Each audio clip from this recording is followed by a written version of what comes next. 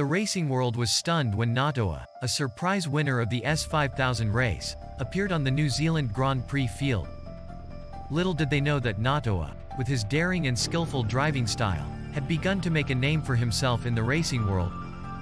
Follow us to find out more about Ngatoa and his story.